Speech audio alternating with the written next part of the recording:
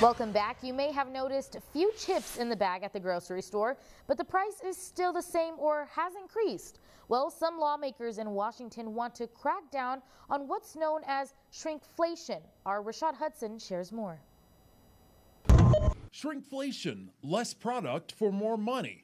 It's an issue that's affecting Main Street and Sesame Street. Cookie Monster posted on X that his cookies are getting smaller. People are, are, suffering under this. Ohio Democratic Senator Sherrod Brown says people should not be paying more for fewer chips or cookies in the bag. He says corporations are ripping off the American people doing all kinds of deceitful marketing, deceitful sales practices. Brown wants to crack down on companies for quietly shrinking the size of their products, then charging more. People are paying more for their groceries because of stock buybacks and because of profiteering by a lot of American companies. Brown has introduced a bill that would make it easier for state and federal officials to sue corporations that engage in shrinkflation.